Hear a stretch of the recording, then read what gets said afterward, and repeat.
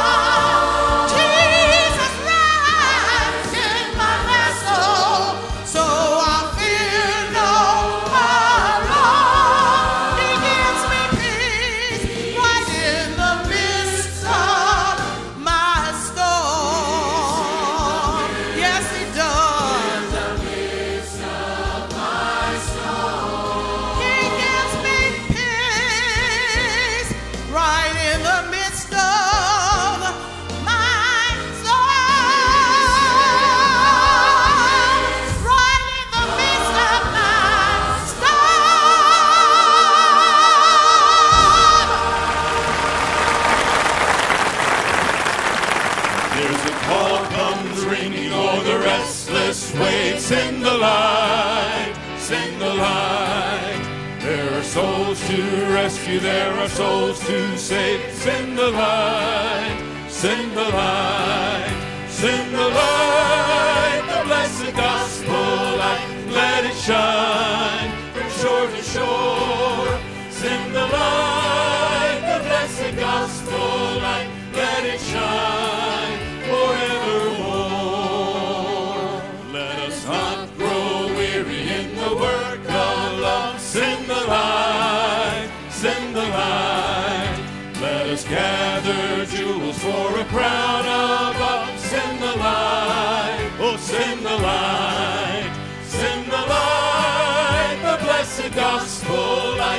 Let it shine from shore to shore. Send the light, the blessed gospel light. Let it shine forevermore. One day when heaven was filled with his praises, one day when sin was as black as could be, Jesus came forth to be born of a virgin, dwelt among men, my example is he. Living he loved me, dying he saved me, buried he carried my sins far away.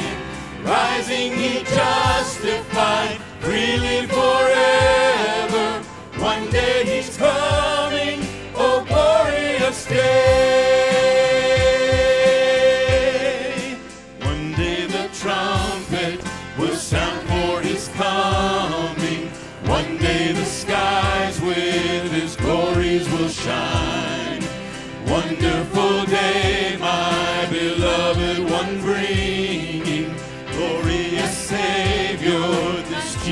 Jesus is mine. Living he loved me, dying he saved me, buried he carried my sins far away. Rising he justified,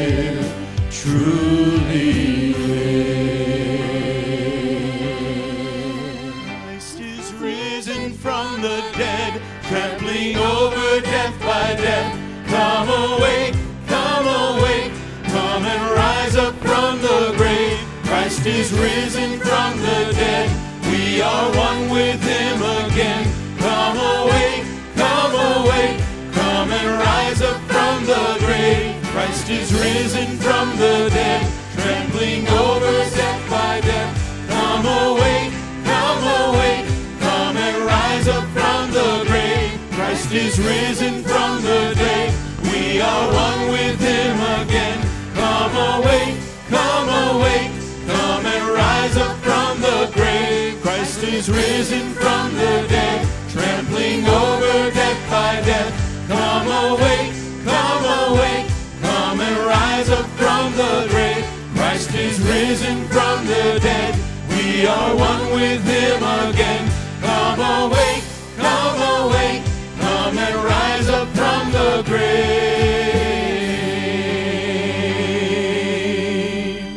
Thank you so much. If you'll take your Bibles and turn to Hebrews chapter 11, please. We're going to look at Hebrews chapter 11, verses 4 through 7. The title of the message today is Challenging Faith. All of us know of Charles Barkley. He is now 50 years old.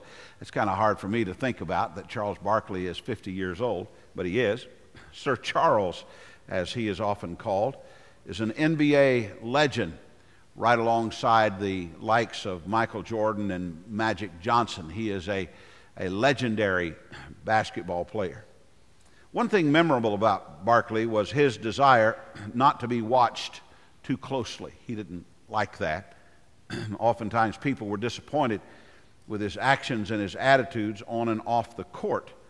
And they challenged him to be a better role model. Some of you may remember uh, his response to that.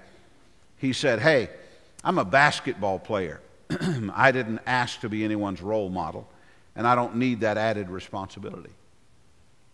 He didn't want the, the challenge of being a role model, but as an NBA star, he really didn't have an option to choose whether or not he wanted to be a role model.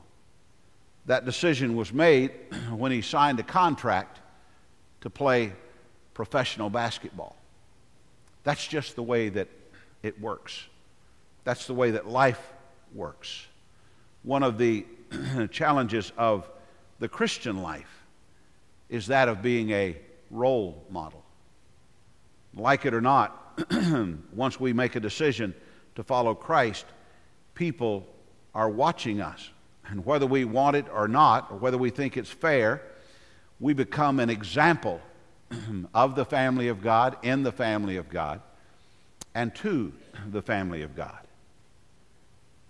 There are times when our faith challenges us in ways that we did not expect, and people are watching when we are challenged in those ways. this morning, we're going to see four challenges of faith, one being the challenge of faith itself.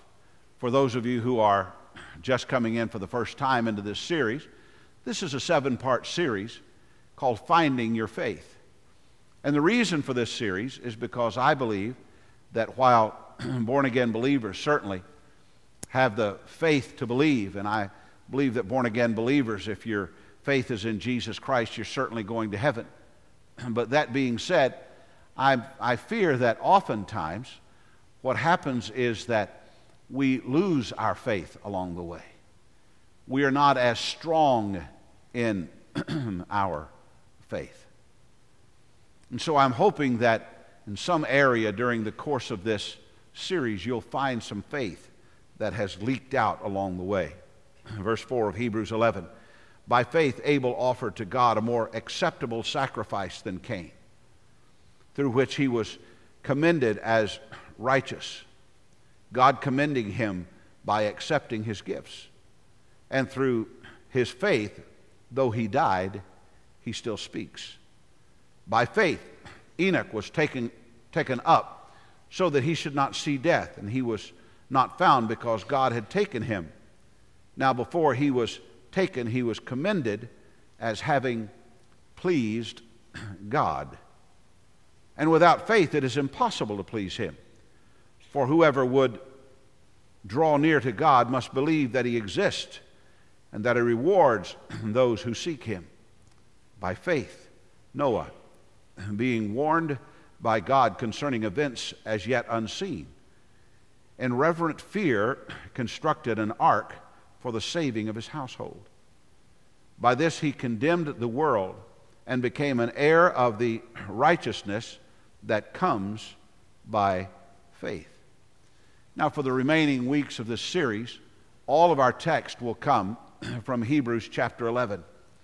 The first example of faith, of a faith uh, that was challenged, is the faith of the second son of the first two people who ever lived, the faith of Abel. And his challenge was a challenge of sacrifice. Let's go back and read the first verse that we read. By faith, Abel offered to God a more acceptable sacrifice than Cain, through which he was commended as righteous, God commending him by accepting his gifts, and through his faith, though he died, he still speaks. Now, I think we need a little more understanding in order for us to appreciate uh, this verse. Here's something that has been true ever since the original sin of Adam. This is, this is key to why God accepted the sacrifice of Abel and did not accept the sacrifice of Cain. Hebrews 9 and verse 22. Indeed, under the law, almost everything is purified with blood, and without the shedding of blood, there is no forgiveness of sins. Now, that is a key understanding for all of us who are born again believers. We must understand that the shedding of blood is necessary for the covering or the forgiveness of our sin. That's why Jesus Christ died on the cross for our sins as an innocent lamb offered for the sins of the whole world. When we have communion, I was thinking about communion this morning. when we have communion, we offer the cup as a representation of the blood of Jesus Christ because we understand that the value of the blood is the sacrifice that it makes. Now, that being said, as with other matters, this is something that we could expound upon, but the principle is enough for us to appreciate. This truth is the reason that Jesus died on the cross for our sins. Once Adam and Eve lost their innocence in the Garden of Eden, God sacrificed an animal to make a covering for their sin. Do you remember that? That God gave them uh, a covering of coats of skin. And God made that for them. How did the covering for the coats of skin come? Well, animals were sacrificed. that was the blood sacrifice to cover the sin. They realized that they were in sin. They, they were no longer innocent, and they realized that they were naked. And uh, there's a lot of stories, I guess you could make of that, but they realized that they were naked, and when they did so, they were ashamed. And so, as a covering for their sin, an animal was sacrificed, and they were given a coating or a coat of skin.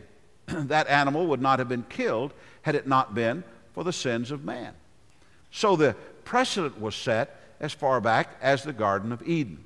Now you understand a little bit more, or maybe you will understand a little bit more from these verses in Genesis chapter 4.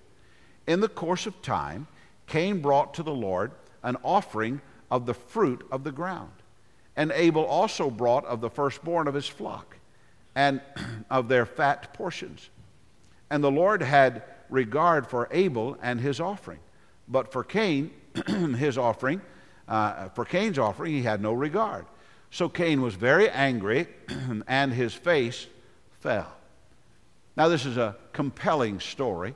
I think most of you know it. But first of all, let's break it down in regard to the matter of faith.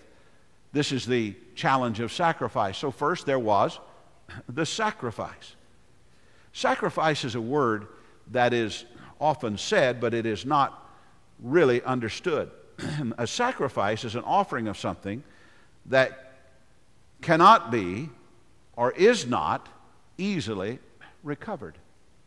Then you have made a sacrifice. When we make a sacrifice for something, we offer up that which has been ours, and in the giving of it, we will not find it easy to get it back if we're able to get it back at all. We do so for the good or the glory of the one receiving our sacrifice. Now, a lot of people think they're sacrificing when they're not sacrificing. For instance, this is just a silly thing, but to trade in your car, one that you really loved, for a better one is not a sacrifice. That's just the trading of a car. Now, to give your car to someone who really needs it more than you, and you don't really have the money to replace it, that is a sacrifice. A sacrifice is when you knowingly and sacrificially and genuinely give something that you know you can't recover. I was thinking this morning about Farmer Brown and Farmer Jones. Farmer Brown said to Farmer Jones, said, My friend, how close of friends are we? And Farmer Jones said, Well, we're very close friends. We've always been close friends. Are we close enough that if you had two Cadillacs, you'd give me one of your Cadillacs? He said, Well, you know that we're close enough for uh, to give uh, that I'd give you one of my Cadillacs. Of course. And said Father, Farmer Brown, I think this is the one that's doing the talking to Farmer Jones. he said, If you had $2 million, would you give me 1 million of your $2 million? and Farmer Jones said, Of course, you know that I would do that. I'd be very happy to give you 1 million of my $2 million. And he said, Well, let me ask this. If you had two hogs, would you give me one of your hogs? And Farmer Brown said, You know I got two hogs.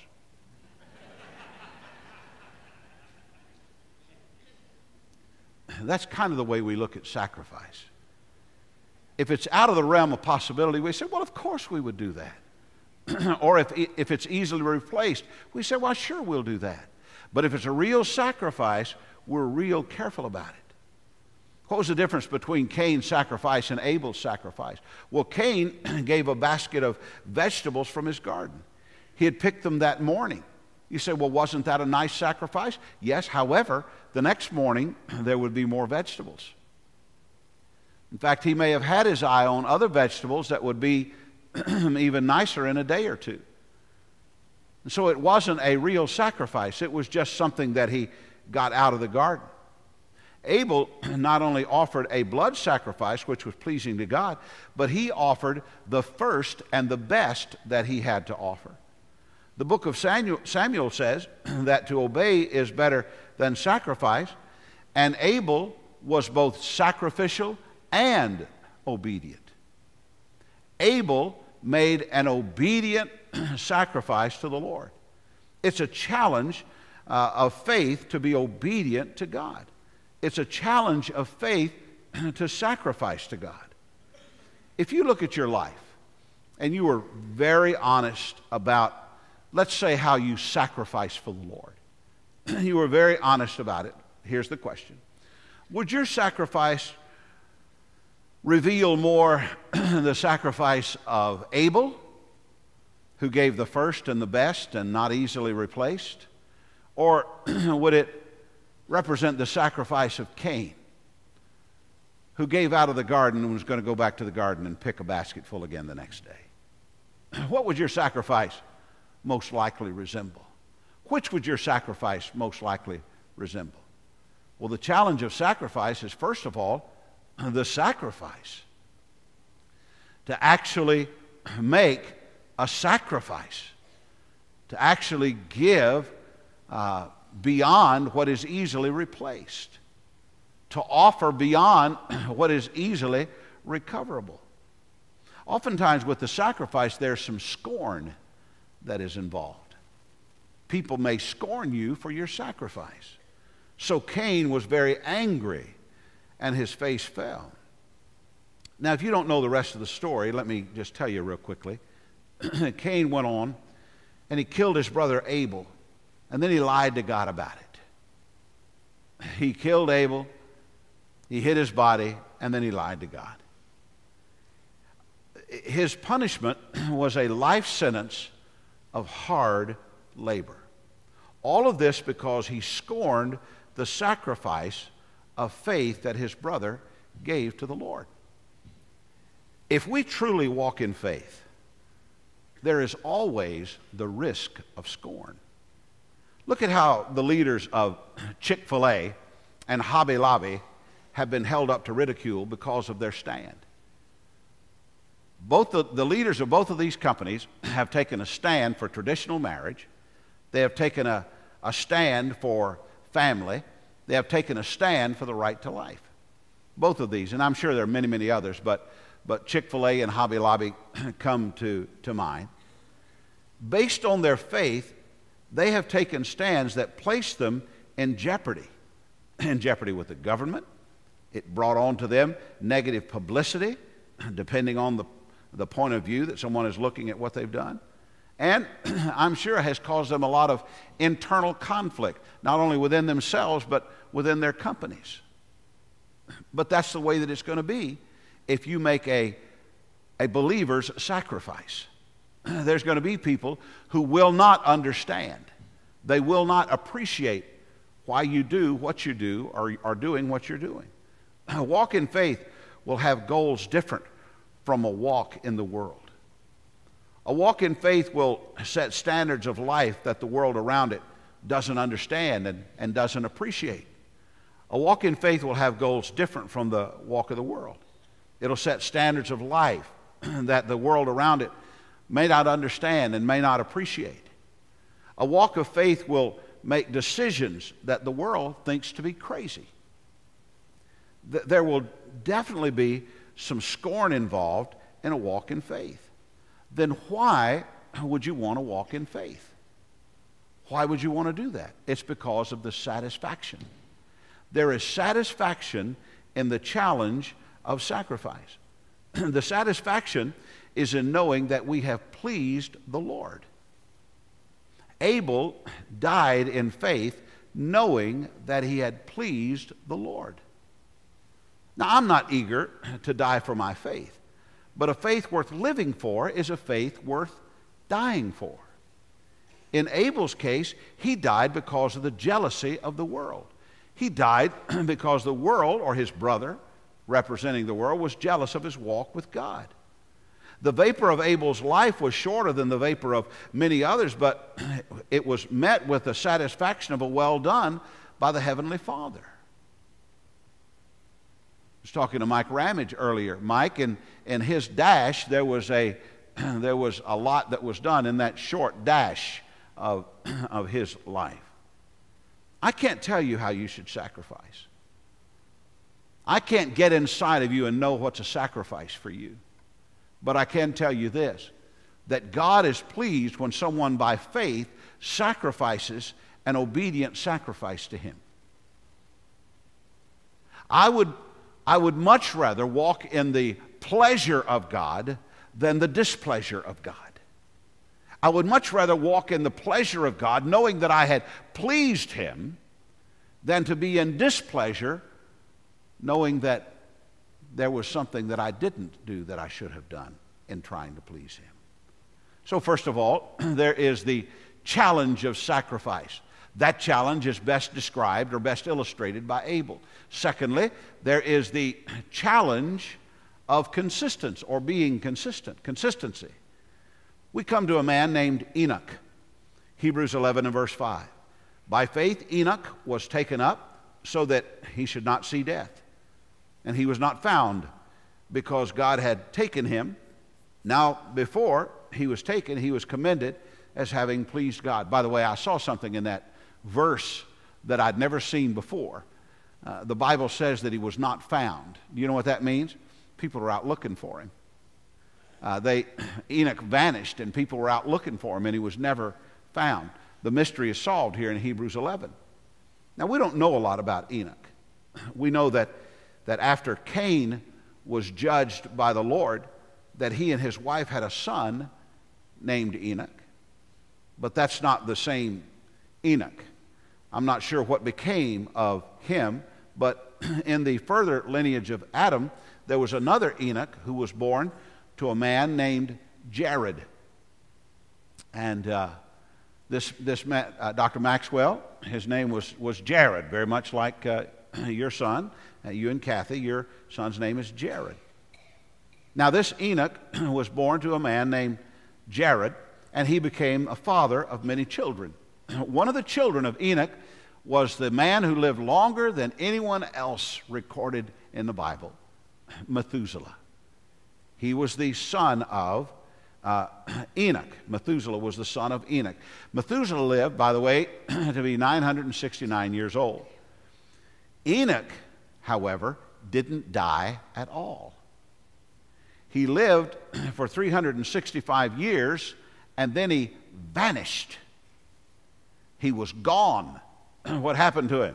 Genesis 5:23. Thus all the days of Enoch were 365 years. Enoch walked with God, and he was not, for God took him.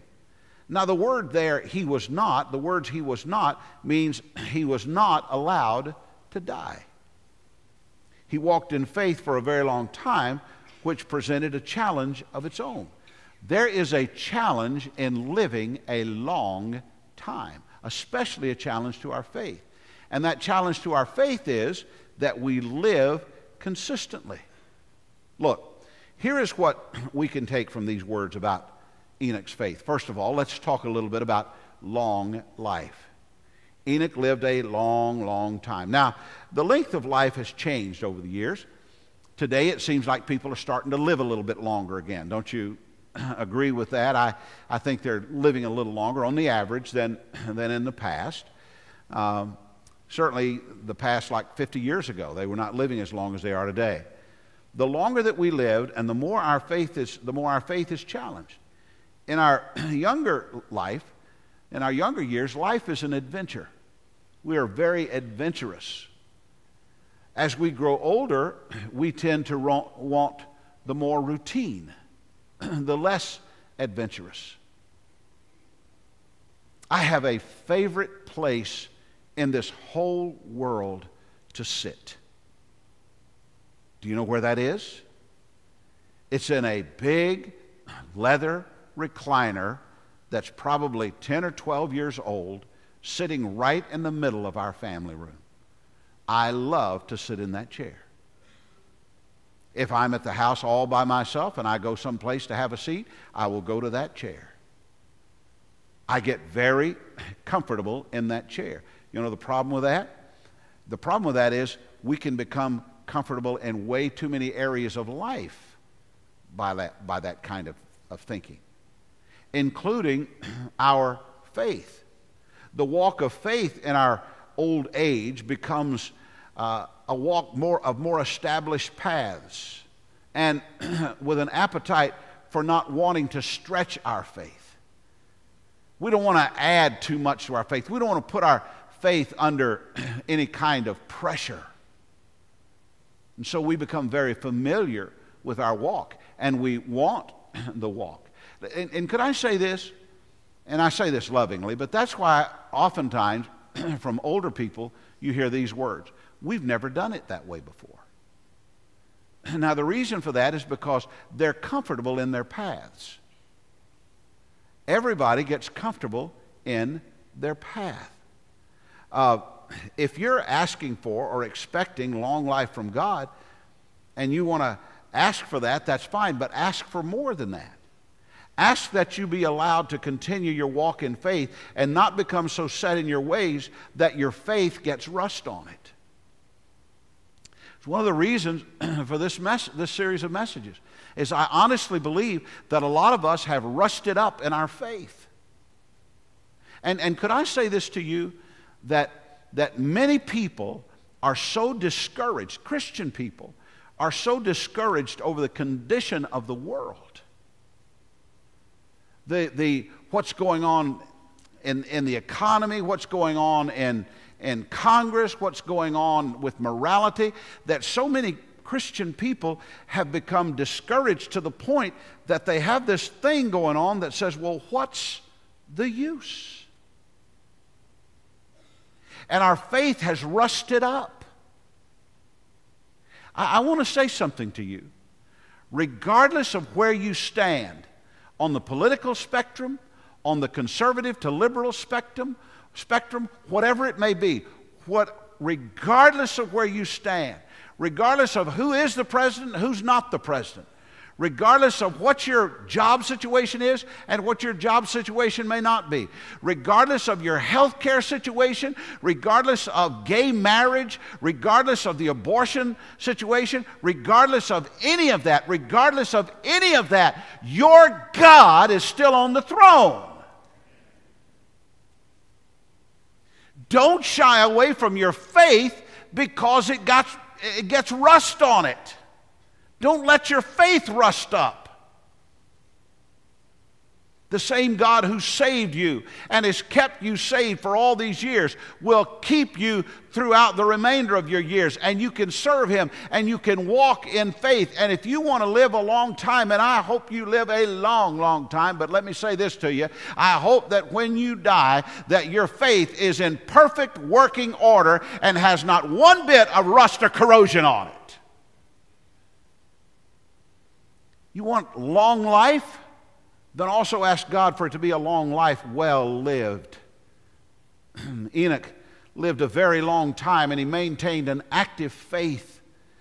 He pleased God so much that every step that he took, he drew closer to God until one day he stepped into the presence of God.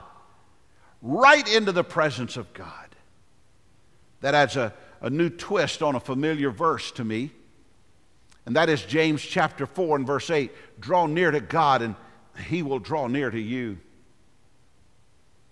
Here's the way our last days ought to be.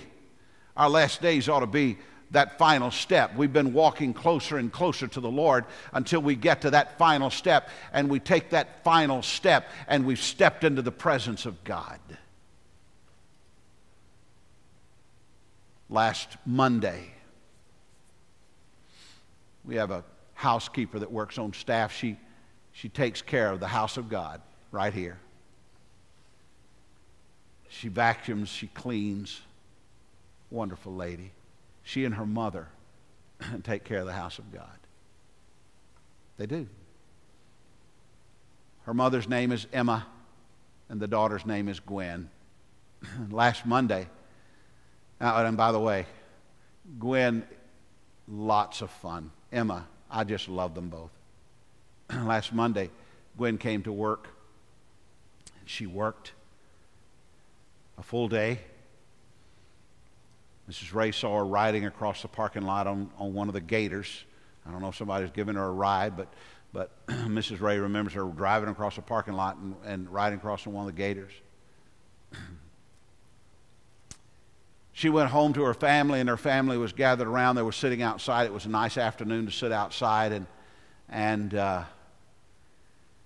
she was having a little trouble breathing, and she told somebody to go get her, her daughter, Ebony. And they went to get her daughter, Ebony. And when Ebony got out there, Emma was taking her last breaths. And she looked up at her son. She said, I love you. I'm out.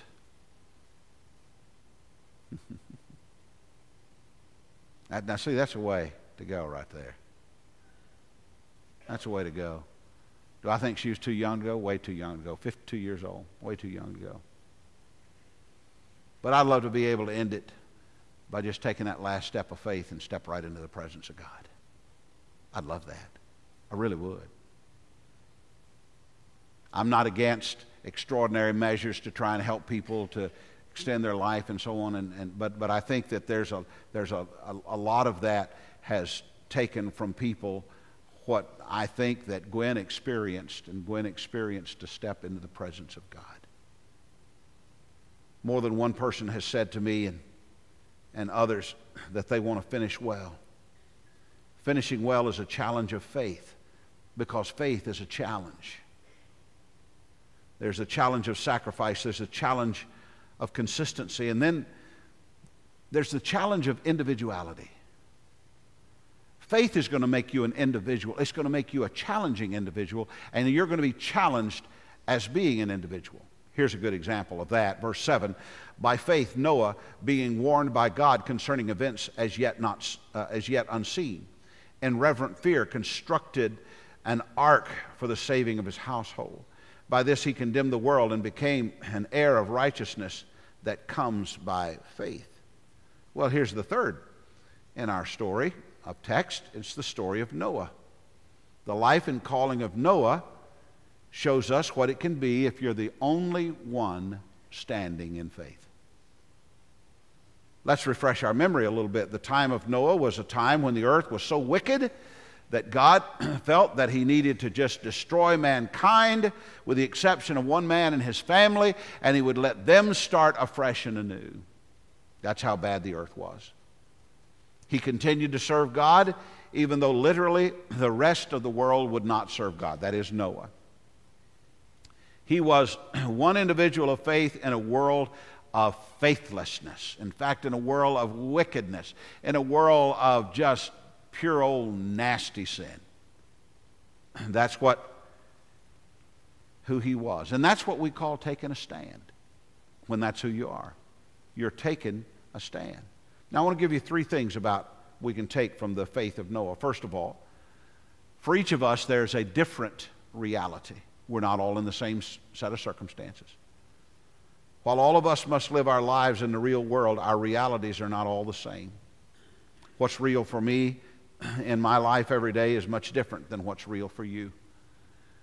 If I shadowed you for a day and I walked every place that you go for a day and I heard every day what you hear and I, I responded every day to what you had to respond to, or if you did the same with me, or if any of us did for the others, we'd find out that our realities are much, much different.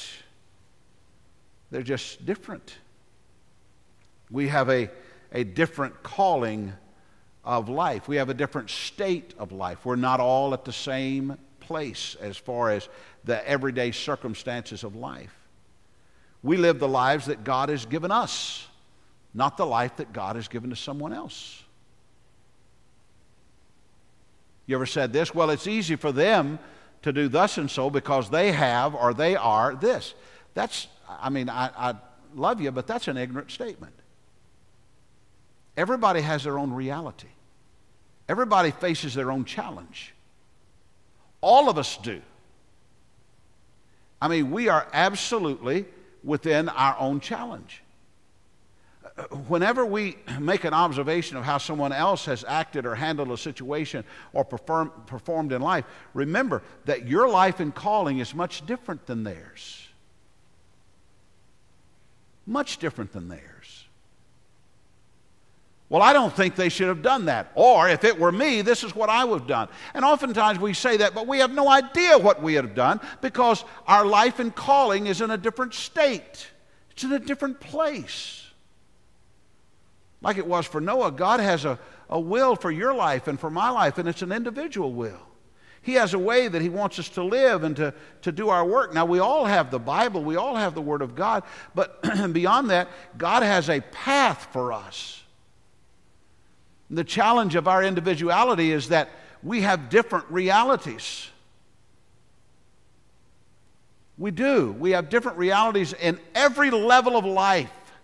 Here's the second thing it could be that we have a dubious reputation depending on our realities. Jesus spoke in the, of this unique blessing in the Sermon on the Mount, Matthew 5 11. Blessed are you when others revile you and persecute you and utter all kinds of evil against you falsely on my account. I'm sure that Noah had a world full of detractors. After all, it was just he and his family, and they were doing something that had ever never been done before. They were building an ark, and, and they were predicting something that had never happened before, and that was rain. And not only were they predicting that, they were predicting a flood. What are you doing? I'm building this ark. Why? Well, because there's going to be a, a big rainstorm. How big is the rainstorm going to? First, of all, what's rain? Well, I'll explain it to you later, but, uh, but there's going to be a rainstorm and it's going to flood the earth. And me and my family and two of every kind of beast and animal on the field are going to get in this ark and we're going. I still remember Bill Cosby's old skit on Noah. You, you remember that? He faced a dubious reputation. When you stand in faith, in faith, there are going to be detractors. And it's not pleasant to have your reputation sullied by others who do not walk in your shoes and do not understand your calling. But you may have it when you stand in faith. When it comes to matters of faith, expect that others, even people of faith, will misunderstand you. Expect them to question you, to even pull away from you. Expect that to happen. It's going to happen. But you have to ask yourself the question will this dissuade me of my faith? Will this cause me to not live by faith? It didn't deter Noah. And for his faithfulness, there was a distinct reward. That verse we just read from the Sermon on the Mount about vilifying your faith, it's followed by this verse in the Sermon on the Mount, verse 12. Rejoice and be glad, for your reward is great in heaven, for so they persecuted the prophets who were before you. Noah's reward was that his family was saved, as was the planet. All of these things, the challenge of sacrifice and consistency and individuality, are all because of this is the last thing the challenge of faith. Hebrews 11, 6. And without faith it is impossible to please him, for whoever would draw near to God must believe that he exists and that he rewards those who seek him. Here's what we must understand living by faith is all about God's pleasure. We live at God's pleasure. Before Champion Chevrolet and University, uh, GMC Buick uh, Cadillac was bought by Rick Hendricks Motors and named Dale Earnhardt uh, Chevrolet and Dale Earnhardt GMC Buick Cadillac. The, the founder of the company of Champion Chevrolet and University GMC was Larry Strom. He's one of the founders, and he was the founder that continued to be with it all the way through. He was one of the founding owners of the company. And when you would call over there, here's what you, you would, you would uh, get the nice greeting by the person that was answering the phone, and then you may be transferred to somebody else and then somebody else. But every time somebody tried to help you with your request, you'd say, uh, I'd like to speak to, uh, there's, there's a guy named Louis LaMarche in the, uh, in the service uh, department, and, and I would always uh, work with Louis, and, and I, would, I would say, I'd like to speak with Louis LaMarche, please. And Larry Strom had every person on the telephone conditioned to say, My pleasure. My pleasure. And when they would say that, you would immediately say in your heart, They're there for me. I understand that. They're there for me. My friend Ron Williams told me about a a book one time called QBQ, The Question Behind the Question. And much of it is based on that very kind of thing right there. Is that people live for the pleasure of someone else. The point of faith is pleasing God. That's the whole point of it we, we have faith to please God. Without faith, it's impossible to please God. So, with faith, we can please God. And the reason that we don't want to let our faith rust up is because we want to live as a pleasure to God. When we give our tithes and offerings, it's my pleasure. When we get ready for church and we come to the church service, it's not to pleasure us, it's to be pleasing to God. Is it a pleasure to us? I hope that it is. Does it benefit your life? I hope that it does. But when you come and sit in the service on Sunday morning, please be here at the pleasure of God. That's the life of faith. Is to live at his pleasure, to live for his pleasure. Not only that, the challenge of faith is, is the position that we hold. The text says, For whoever would draw near to God must believe. Well, of course, we must believe. We must believe that God exists, but even more than that, we must believe that God lives to reward those who diligently seek Him. We have to believe in the God of reward. You have to believe in the God of reward when you don't see the reward. You still believe in the God of reward. Here's the issue that we have oftentimes is that we, re- we see reward in only one way. And it's not inaccurate, but it's misunderstood sometimes. And that is in prosperity. That's how we want to be rewarded. And I do believe that people of faith will prosper. Joshua made that promise to the children of Israel. In Joshua 1 8, the book of the law, this book of the law shall not depart from your mouth, but you shall meditate on it day and night, so that you may be careful to do according to all that is written in it. For then you will make your way prosperous, and then you will have good success. Here's the thing about reward and prosperity. Just as God's ways are not our ways and God's thoughts are not our thoughts, His rewards are on His terms and not ours. Faith makes a commitment to wait for the reward until it's given. You remember this illustration from the Sermon on the Mount, Matthew 6 and verse 2. Thus, when you give to the needy, sound no trumpet before you, as the hypocrites do in the synagogues and in the streets, that they may be praised by others.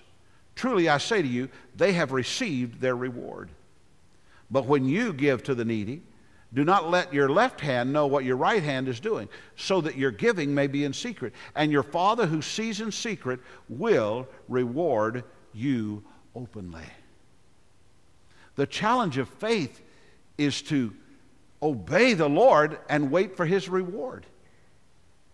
You say, Well, I know somebody, they lived for God all their lives and they never did re- uh, get their reward. Yes, they did. See, that's what's wrong with us. We do not understand that life is a vapor. But you said Enoch lived 365 years. He did, and those were vaporous years compared to the weight of eternity of reward. This morning, I want to ask you to meet the challenge of faith and to not let your faith rust up and, and to, to say, God, I want to have a long life, but I want to have a faith that lives the length of my life. As we grow older, different parts of us begin to fail a little bit. And our shoulders hurt, and sometimes our hair falls out. And if it doesn't fall out, it turns gray, and, and uh, our skin gets thinner, and we get a little more wrinkled. But there's one area of life that can be as young and vibrant as it ever was, and that is our faith. But we must keep it exercised we must keep the challenge of faith. You have been watching the Family Bible Hour, a ministry of North Florida Baptist Church in Tallahassee, Florida. If you would like a copy of today's message on CD or DVD, write to us at Family Bible Hour, 3000 North Meridian Road, Tallahassee, Florida, 32312. Visit us online at nflchurch.com or call us at 850 385 7181. Join us again next time for the Family Bible Hour.